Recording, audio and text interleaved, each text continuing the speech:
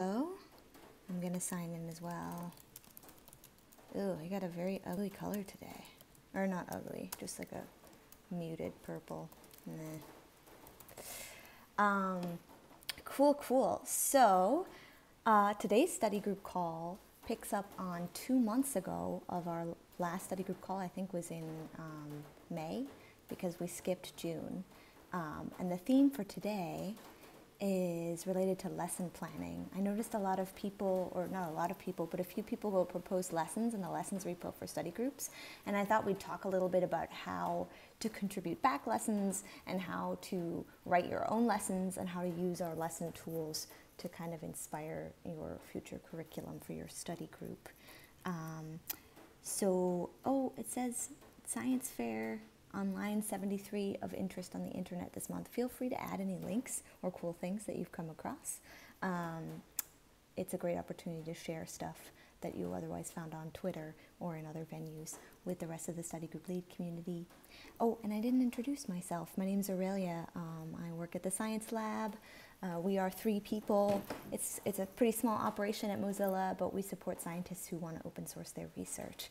And if you've never been in Etherpad before, um, the Etherpad is attached to the event uh, invite on our website at science.mozilla.org, and I can also put it in the chat for the video room, which is the software that you're using currently to view me and listen to me talk, and hopefully listen to other people talk soon. It won't all just be me the whole time, I promise.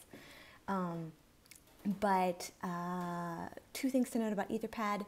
You can sign in on the roll call below line 57 with your name, affiliation, and Twitter, and that's usually just helpful so that people know what colors correspond to which writers and who to follow up with if they want to uh, follow up on a question or on a link that was shared.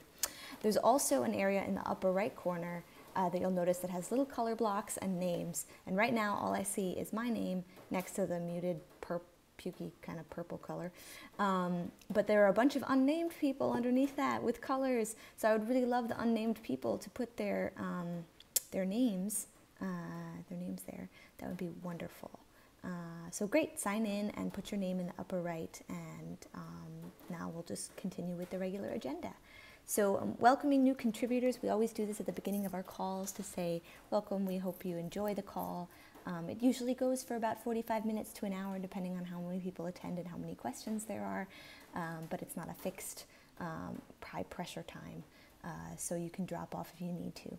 Uh, for other things. But Marina, hello! You're joining us from the Max Planck Institute for Human Cognitive and Brain Sciences.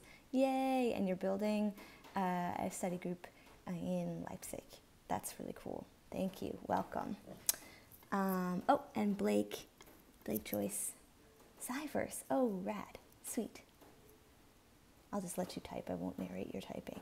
Um, so usually how these calls work is uh, we have this theme um, that changes every time. It's not as um, I guess, as uh, disciplinary focused as our themes for our community calls, which are other calls that we run bi monthly. The study group calls are usually just a chance for other study group leads to network and share resources about how they're running their study groups and what are particular challenge points. And then the theme usually guides the links that we share toward the end of the call, which are other resources you can use to build lesson plans or build community or um, sometimes develop curriculum for a particular uh, language. So R, we've had um, study group calls focused on R. We've had ones focused on um, Jupyter notebooks. We've had ones uh, focused on uh, BioJulia and um, like uh, languages that are applied to particular disciplines um, and developing curriculum for those. So it runs the gamut.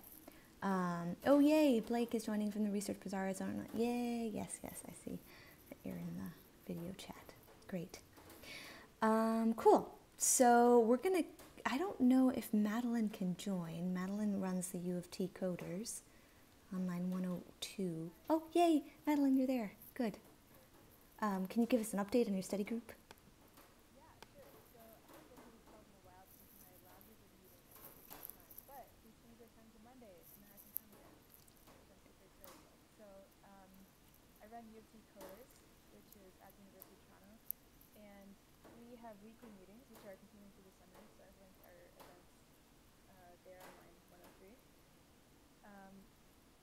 So I was trying to think of relevant to lessons because that's the topic for today. So we have on our uh, GitHub pages like a list of all the, the, lessons that we've done, which links to the GitHub repo itself.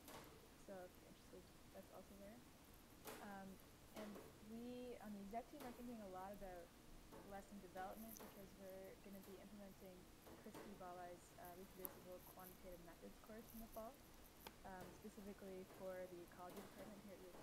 So this is like the first time most of us are teaching an actual course, and we're thinking a lot about how to make this be enough of an ecology course, but still mostly live coding and things like that. So that's where we're at.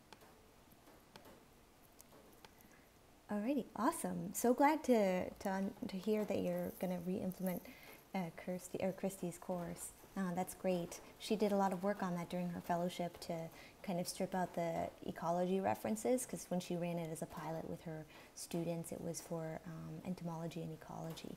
And she wanted to make it a bit more anonymous and uh, approachable for everyone. So she wrote this really cool instructor guide and stuff. So thanks for sharing those resources, Madeline. Um, looks like a lot of folks are out, but next up, I don't know if Danielle's on the call or if she could join. I don't see her in the link. Maybe she has a conflicting meeting. But she runs the Oregon Health and Science University Biodata Club, which is on line 127 currently. Um, and she added some R Bootcamp resources. Um, so if you have any others to share with her, I'm sure she'd love to, to read them afterwards when she checks back on the pad. Um, and I don't know. Uh, Sarah, Sarah, are you on the call? Someone just unmuted, so maybe. Or maybe not. Ne- never mind. um, also, I, I, I, wanted to call out that um, anybody who is on the call but doesn't have an area to give an update on their study group or what they're interested in running feel free to add um, your study group name and your name underline 192 and type a quick update or any questions you have and we'll address them as we go through the pad.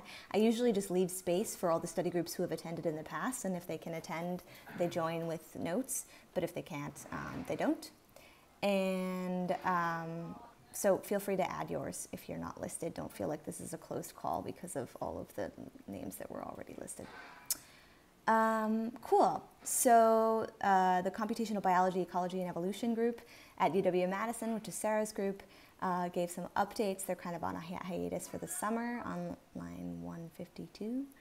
Um, and Vicky is not on the call either, but he also gave an update. He runs uh, the IoT study group um, in India that's listed online on 165. He's also contributing to the decentralization floor at MozFest this year. So um, for all of you who are interested in proposing a session at MozFest, it's kind of our big festival for the open internet that happens at the end of October. Um, you should totally apply. There are five spaces you can apply to have sessions in. Um, if you apply for open innovation, which is my floor, um, I get to approve those sessions. So uh, so you should apply and mention that you know me because then maybe I'll prefer your sessions. And then Vicky also runs the decentralization floor, so if you're interested in submitting anything on that, um, he's super friendly. Um, oh, Marcos, you're up next, 179. What can you tell us about your study group? Hi there. Hey. well, right now we are passing through a huge hiatus because we've got the end of the school semester with a lot of exams and a lot of stuff going on, and then a small recess. Um, we are now focusing on learning Python, and the plan for the next meetings is to try to work on small programming challenges. So we want to try to tackle some prepared challenges before the meeting and then share results and problems, stuff like that. But other than that, there's no real updates right now because we have to to start So that's it. Thanks, Marcos. That's great.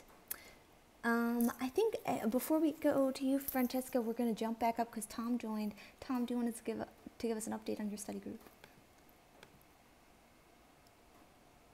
Yes, sorry, I was a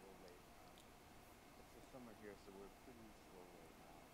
Um, Will and I are primarily focused on uh, organize a working open workshop in Boston there, so that's actually one of those too. But um, yeah, that's that's the the most we're doing right now. All right, sweet. And for everybody, does everyone know what the Working Open Workshop is? I'm not sure everyone on the call does. It's a it's a workshop that we run um, semi-annually, I guess, uh, at the Science Lab with other partners all over the world. And um, Evo and a few other people on this call have attended Working Open workshops in the past. Um, we teach people about just basic principles of, of working open and how to set up nice READMEs and documentation for your projects and how to appropriately open source things and openly license them and open access publish. And we have modules for all different components of that. So we'll be giving you updates on the future study group calls too. I think the next study group call happens just before the Boston WOW, right, Tom? I think Boston WOW is the 3rd through the 4th. All right, sweet. It's going to be awesome. Uh, we'll take a lot of pictures. We'll be tweeting them. It'll be very exciting. Um, and the website is super rad. I, I, forgot what color. Oh, it's green. I think it's green. Um, so, uh, so yeah, it's going to be a fun time. Cool, cool. Francesca, would you like to give us an update on your study group? Hello? Can you all hear me? Yeah. Um, so a lot has happened in the last couple of months. So we've run a lot of tutorials, which was good. So we tried the lightning demo session to kind of understand what people were interested in. So I basically uh, forced volunteered a couple of people to give presentations about something that they would like to um, run a tutorial on.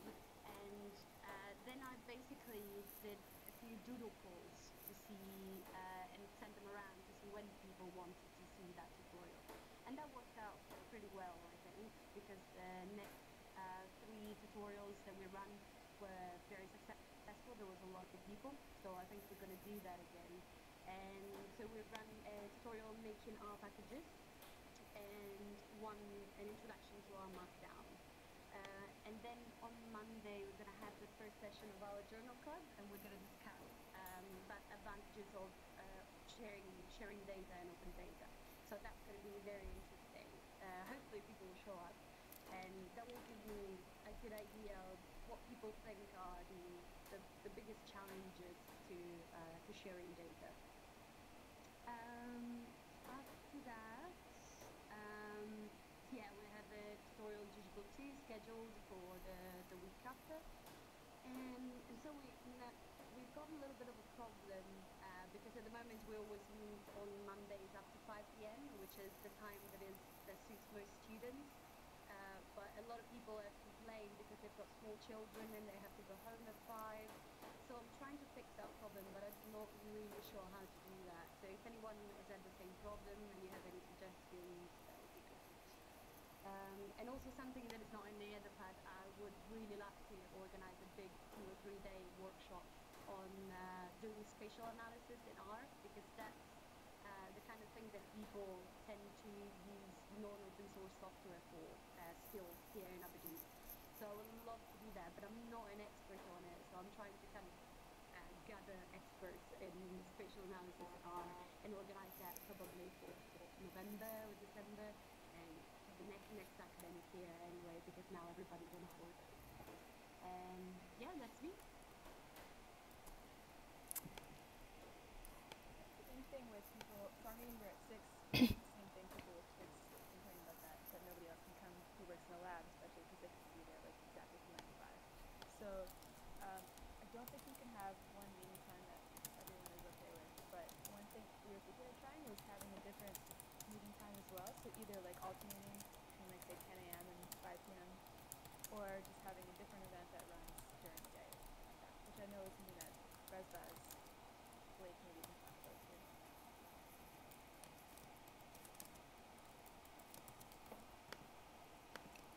Oh, yeah, Blake, you're muted. But yeah. Yes. Yes.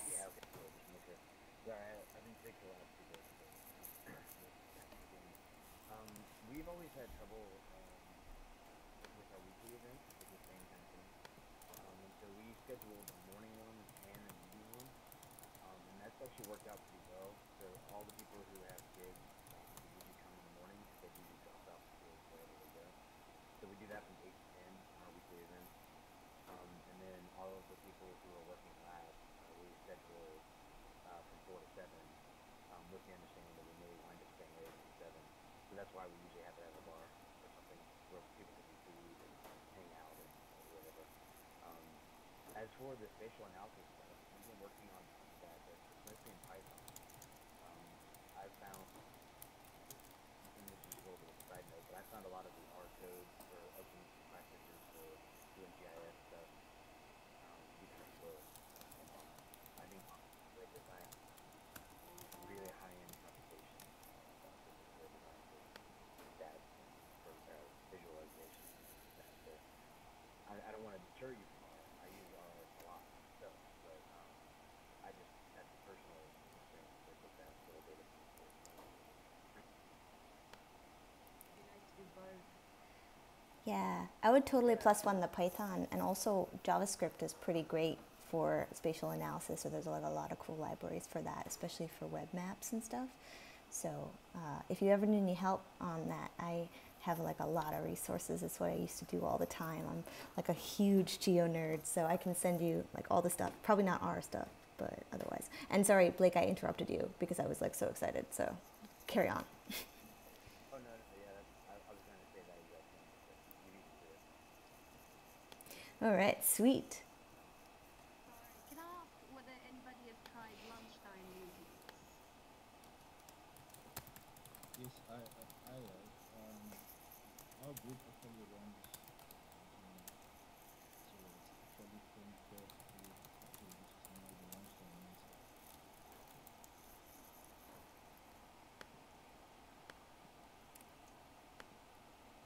Yeah, that's nice. Um, I'm wondering too, uh, how many people run groups in a university context where people are kind of contained on the same campus? Um, can you just raise your hand if you're on the video? Was it, you know, everybody's, whoa, okay, never mind. Super easy. So that would make sense to me to have a lunchtime meeting because people could kind of get across campus fairly easily, maybe, if they didn't have conflicting courses. I think it might be hard if you're doing a study group that's like, um, I know, for example, Danielle's OHSU study group is university based, but she tends to call in people from lots of different um, surrounding places too. So those people can only really make the meetings in the evenings or maybe super early morning. Yeah, one of the only problem that we have is that um, we do have two campuses in town, so people that might want to come from the medical science campus might be a little tricky, but I don't know. I was thinking of um, uh, passing around a survey for people to choose uh, which time they prefer, and then we just count the numbers and, and, and do you know, majority. But I'll let you know.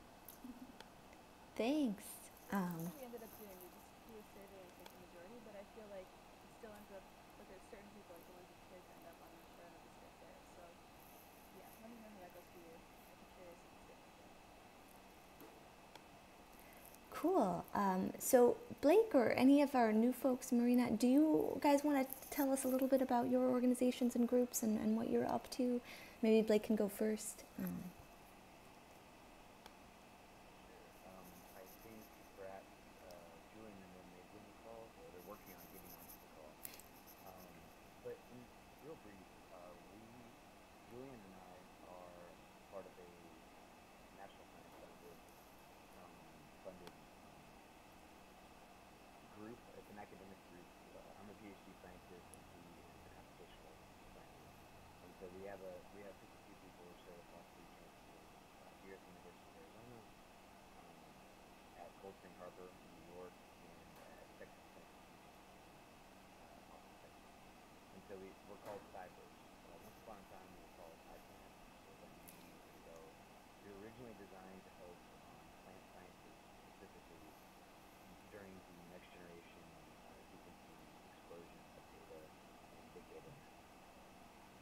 branches out into helping all life sciences, and in truth, we help most these types of. Um, so uh, Julian and I, um, as well as Heather, um, and uh, Andrina, and uh, a few others, um, started a local chapter of each of The group that got started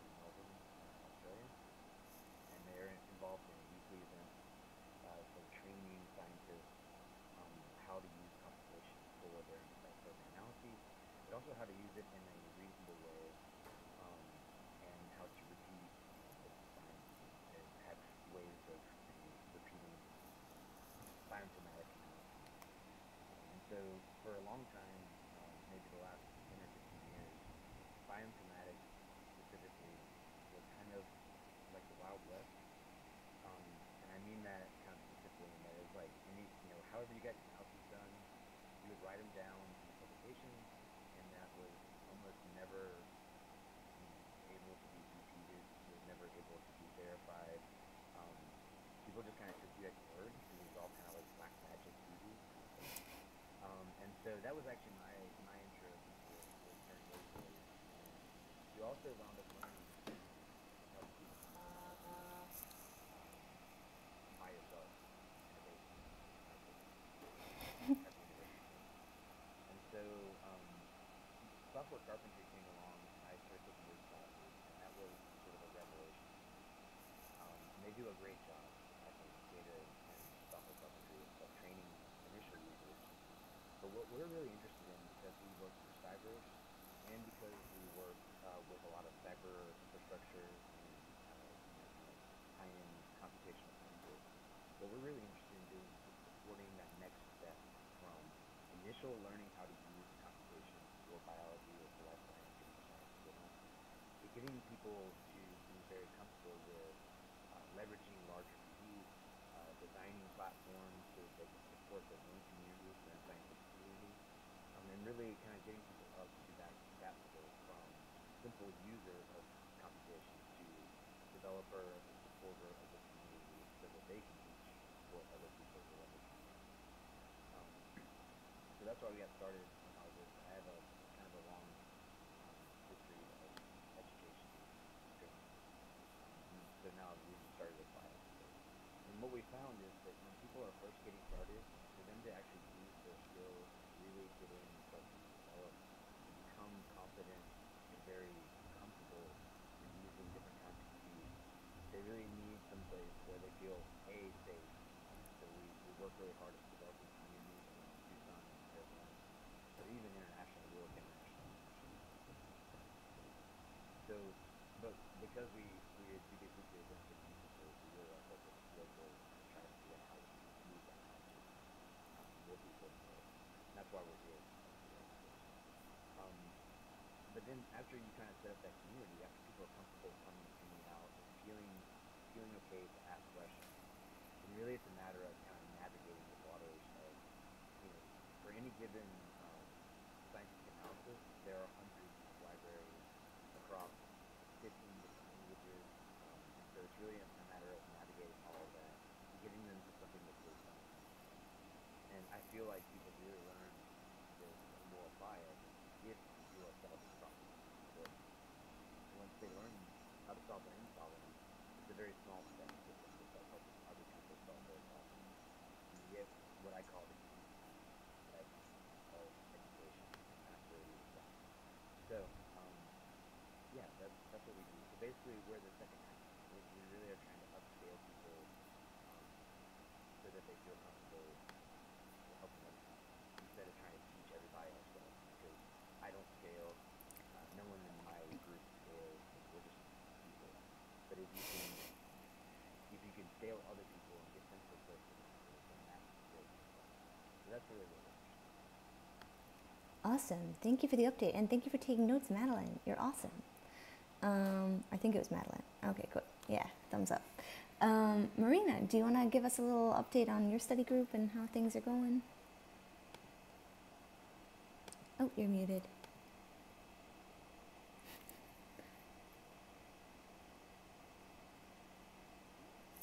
Mhm. Hello. Um, okay, so I'm from the Max Planck Institute for Brain Sciences in Leipzig. I uh, finished my PhD in the International Max Planck um, Research School of Neuroscience of Communication, and um, I am an open access ambassador for my Max Planck Institute since 2014, and we've conducted a few open science events. And now I want to, um, instead of using multiple mailing lists to manage all this, I would like to use a study group to make um, a central platform for this open science network that we've already built in Leipzig um, within three Max Planck institutes and also the University of Leipzig and also some other folks who are coming from nearby cities and um, have just a central resource where we can manage all the events and also um, take videos of those events and upload them on YouTube so that they are not lost because we often invite very interesting speakers from the open science community and we have also had um, an OpenCon satellite event um, and we will probably also do this year an OpenCon satellite event. Yeah, so I'm new to study groups and I try to learn all about it it. Awesome. Thank you for joining. We're very excited to have you. Um, I also want to skip back up to Elizabeth. You're on the call. You're filling in for um, for Sarah, and I'm sorry I skipped over you. I didn't see your update in the newcomers. But if you'd like to talk about your study group, that'd be great. Uh, yeah, so can everybody hear me? Okay, so my name is Elizabeth. Um, I'm a first year graduate student in the microbiology, microbiology department at UW-Madison. Um, earlier in the spring, um, I'm taking over the co-chair position at ComBEE, the Computational Biology Evolutionary Ecology Group, um, from Sarah, who is normally on these calls. Um, she's on a plane on the way to a conference right now, so I'm filling in slash overtime as she gets ready to graduate pretty soon. Hopefully, I'll be um, ready to take her place on these calls. Um, so yeah, I'm new to the open science world. Um, just trying to learn as much as I can, get my feet wet. So yeah, that's a little bit about me. Awesome. Thank you for joining us. It's great. We're looking forward to your new website. I've heard a lot about it. Um, you're evolving the original website to be more custom and cool, so that's always supported. Um, cool. So I think we went through everybody. Did anyone not get a chance? Ivo, did you want to say something about your study group? Oh, I think you're muted, but feel free to unmute and give us an update.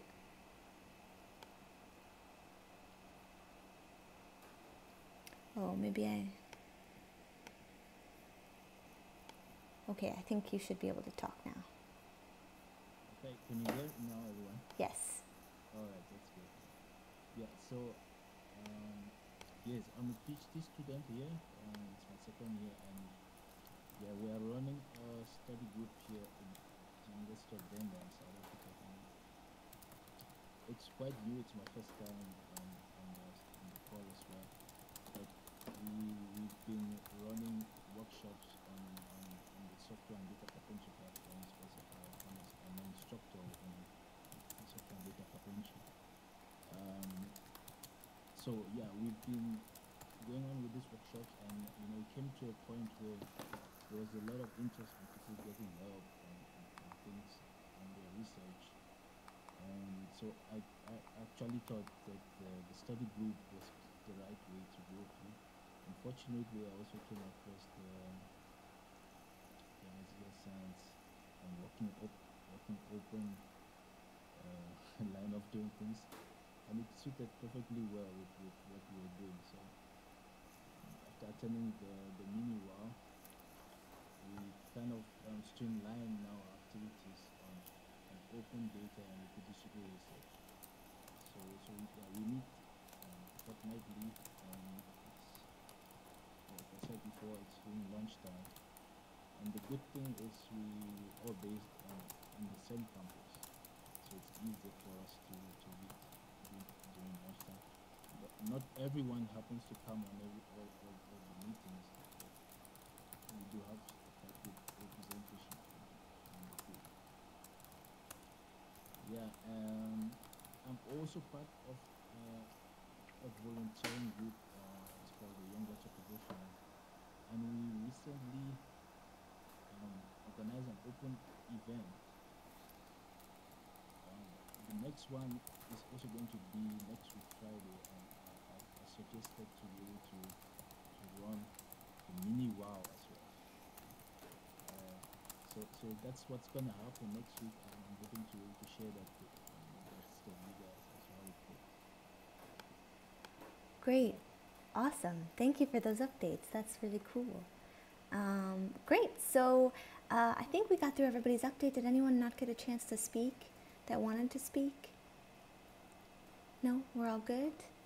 Um, cool. So there's a bunch of links um, related to the today's theme on um, on curriculum development and lessons. I think we usually point people, especially in the study group orientation guide, we point people to the lessons repository, and uh, we use a combination of submodule lessons. So those are GitHub repos that we've kind of um, absorbed into a main lessons repo under Mozilla Science. And then we also, in the issues queue for that same repository, have a bunch of lessons that we've labeled according to the themes. So, like Git or R or Python or Open Science or whatever. We apply these labels to those lessons, and those are usually community submitted lessons.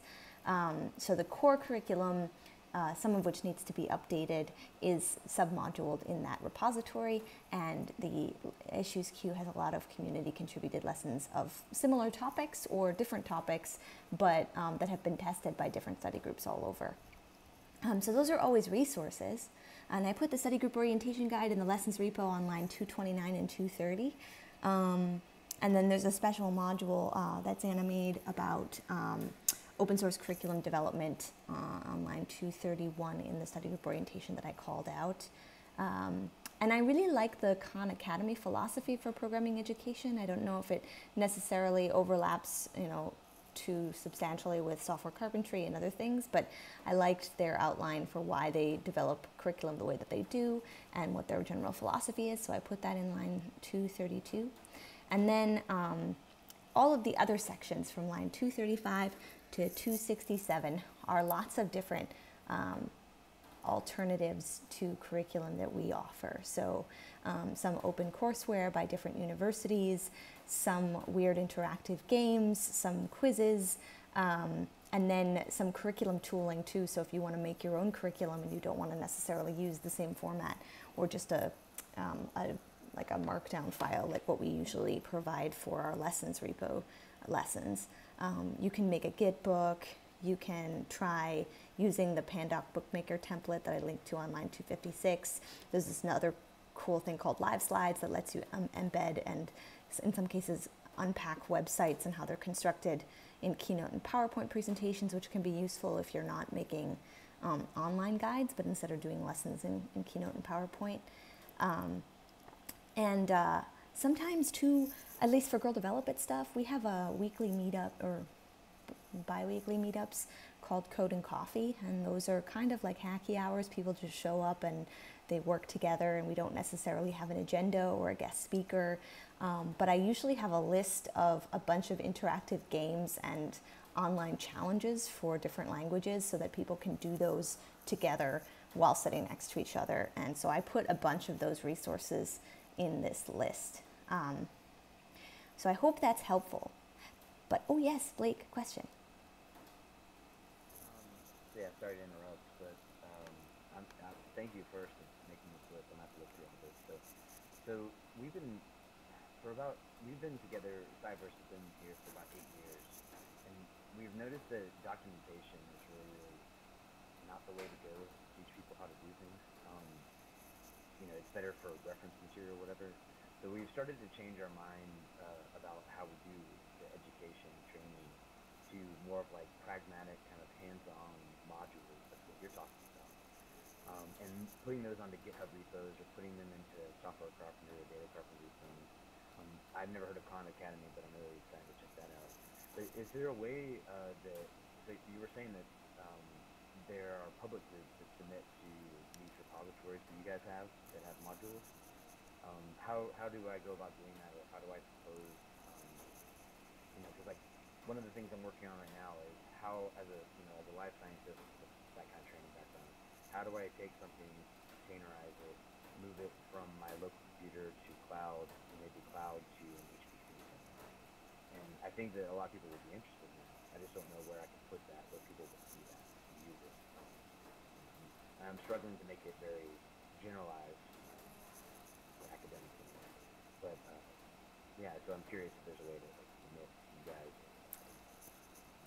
Yeah, totes. If everybody wants to go check out line 230 with the study group lessons repo, I'll walk us through how it's set up and how you can contribute to. There might actually be a module in the study group orientation guide that tells you how to contribute a lesson, but um, but in any case, we can walk through it here. And I'm also recording the call, so there will be video evidence of me going through the website. So if we click on that website, it's a it's a GitHub repo, and you can see that there's a bunch of folders and directories. And the double folder directory in GitHub usually means that it's submoduled. So that means that somebody else made a repo and I've just captured that repo at a certain commit, which is listed next to the repo name, and put it inside of my repo. Um, and then there's like a little README that tells you, um, gives you some basic outlines of what are study group lessons like, what are kind of formats that we support um, and then some contribution guidelines. So there's some instructions for how to submit a submodule as a pull request. I would say don't bother because it is kind of a nightmarish process if you don't know what you're doing, and sometimes it can be stressful because you think you're going to mess something up. I even struggle with submodules, and they are actually difficult to update sometimes. Um, so they'll be fixed at a certain commit, and then somebody at that repo will change the lesson or update it, and I'd have to fetch those updates it's just a, it's a bit of a, a, jumble. But the easiest way to contribute a lesson is to go to the Issues tab, which is at the top next to the Code tab. And you can see there's a list of a bunch of different issues. Um, we have a series of labels um, that include both the, um, uh, I guess, the level of the curriculum that's being offered, so advanced, beginner, intermediate, and the specific topics of, of the curriculum. Um, we don't have a Docker or container um, related tab, but I can add one as a label. And we did actually have a study group call um, a few months ago focused on Docker and containers. And, um, Tim Head spoke on that about Everware, which is a project that's supported through the Global Sprint. And um, there was a fellow from Docker too who contributed some lessons and things. So I'll pull up that Etherpad and put it in this Etherpad, and then I will add a label for containers in Docker. But you can kind of see what people have submitted. We have a lesson template, so that means that when you create an issue, which everyone can do, in this repository, it should give you guidelines in uh, comments for how to fill out the lesson template. Um, but it's pretty open. It's not going to reject your submission if you don't follow the guidelines, although we love people who follow standards. Standards are great, so much easier to parse. Yay. Um, so feel free to, to, add, to look through, to search for topics that you think might be interesting or that you think your lesson might cover just to make sure that you're not duping. Um, some people also just do translations. There's an introduction to Docker um, that's already in there that Bill wrote a while ago, but it could probably be updated to a different use case or circumstance. Um, or like I said, languages are always welcome too. So that's kind of how we we accept submissions so far. But I'm totally open to people suggesting other ways if you think that there are better ones. Also, I didn't mean for the list to look super intimidating. I, I, just wanted to provide a lot of resources, so I hope people can submit other lesson ideas. You should just add links to the list under line 233. I'm sure there are way better, and to Blake's point about you know learning while doing instead of just following some curriculum that's wrote, there's a lot of um, interactive, uh, like um, activities and academies online that teach you these things that I listed under, particularly under the tools section and under the podcast social groups and uh, games section. There's like a lot of really cool, uh, weird games you can play to learn programming concepts.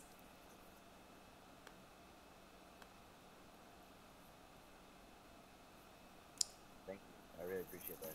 And I'll, I'll just note for Elizabeth, because I think you are where I was just a few years ago, um, those interactive uh, coding things are really helpful, uh, for, especially with people who have no background in uh, coding coming from sciences, that's pretty normal for us. There's also a tweet that I put um, just as like a confidence booster around line 273 um, where somebody had asked the question, How do you succeed as a self taught developer? And then this guy gave some bullet points about how to succeed. And one of the chief things he mentions is contributing to open source projects. So, by contributing to the study group lessons repo, shameless plug here, um, you're contributing to an open source project and you're building skills in coding. Yay! Um, there's also this cool tool on line 274 called Contributor Ninja that sorts a bunch of different issues based on preferences in um, open issues in open source repositories. So you can jump in and contribute to them. Sometimes people just want like proofreading and stuff that's fairly easy to do without much coding background. But any way you can build your chops by contributing to actual projects is probably a really cool way. You can even have like a mini global sprint hackathon as part of your study group where you all just work on open source project contributions. That's an option too. Cool, cool. Does anyone have any other updates or things to add?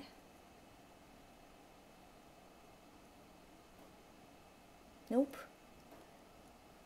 Um, sorry, I don't know how to suggest something. So, Sarah has mentioned, we're trying to go from Google Sites to GitHub organization and uh, GitHub pages.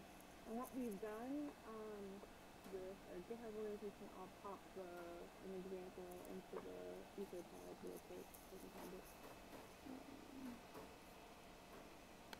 So on online, where we keep it note. I guess I'll just pop it up in the update. So on line 159, I've popped a link into our uh, our study group uh, repo. So our basic organization is so somebody in our biostatistics department has uh, agreed to teach our study group next semester. And what he's doing is he's trying to design an R for data sciences course to teach in fall 2018. So he's using our study group as kind of a practice time to try out some of his lessons.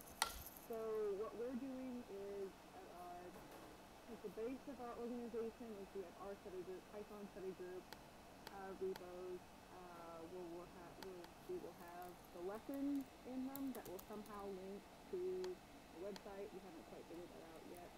Um, but Brian Candle is the biostatistician. Basically, in the fall, we have he's created some lessons um, based off of other people. So Jenny Bryan, he's uh, based it off of what he's taught before. Um, so there might be some ideas in there. We're mostly working with him. So his, and he teaches the course in fall 2018. Um, it's more organized.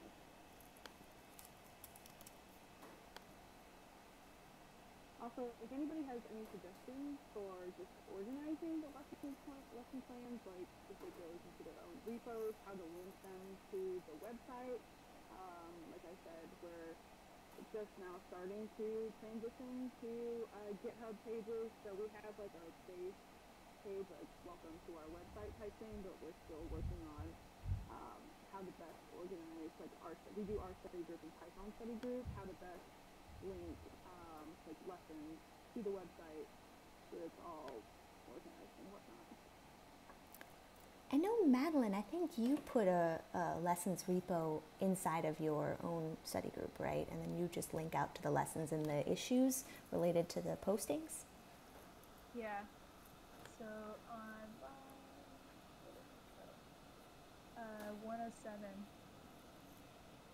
we have just like an extra page that's, yeah, uh, a web version of what's in our repo already. Cool. And usually, so for the study groups repo that um, that folks fork, and feel free to um, to take a look at that. I'll put. I think it's actually linked to um, online. Yeah, the study group repo is online uh, 231. That you can look at it as an example, Elizabeth. You always don't have to copy the theme or anything, but um, the workflow is kind of explained for how to create events using GitHub issues and the post directory. Um, it's a Jekyll blog, so it has like a blog post directory, but we use the blog post as event postings.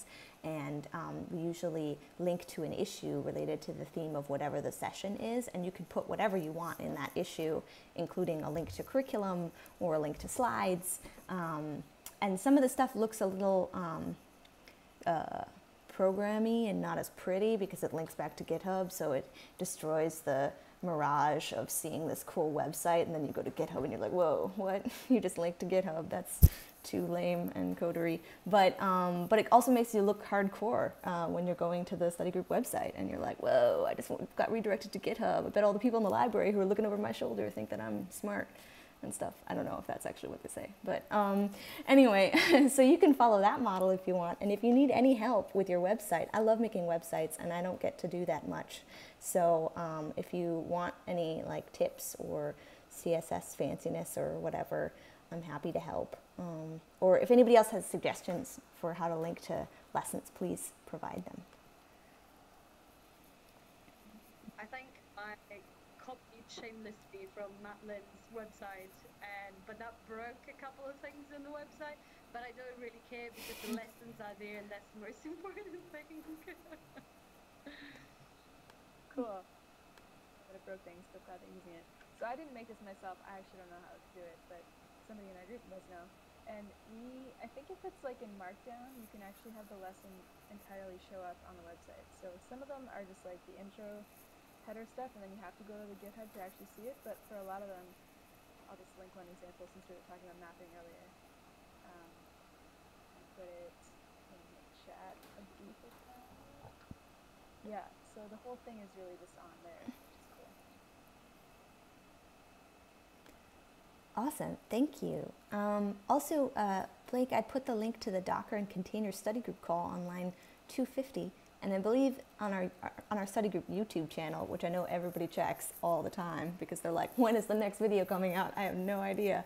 But so we have a YouTube channel where we upload these calls, and there's actually a recording, I think, of the session. So if the links aren't enough, or if you feel like you'd like more, feel free to check out the YouTube channel. I tweet the bejesus out of it after every one of these calls, and I hope people actually look at them. But um, yeah, a line 250 is where I link to it.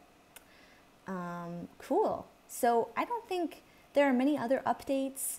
Um, we have uh, a newsletter that's bi monthly now. We do it every two months. So this month we're talking to Mark, um, who runs a study group in the Netherlands, which is very cool. And Mark and Matthews, they both have M names, so they alliterate. And I hope I'm going to put in a lot of puns, alliteration puns in their blog post. Um, but we'll be featuring them in the newsletter this month. And if you'd like to sign up for the newsletter, please put your name under line 312. Um, our next call will be August 4th. Uh, if anybody else wants to MC, I know I kind of like dominate the calls and I don't mean to. I hope it, my voice isn't annoying. Um, but if it is, sign up to MC because there's no easier way to shut me up than to volunteer to do free work.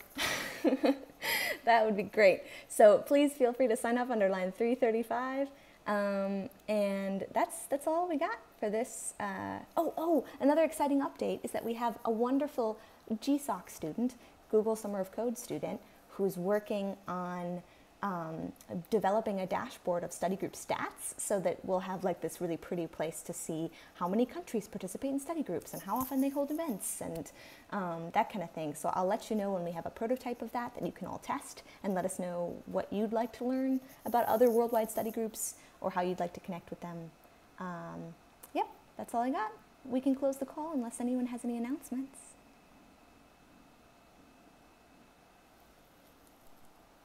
Alrighty. Great talking with you all. Bye. Thanks for coming. Bye, everyone.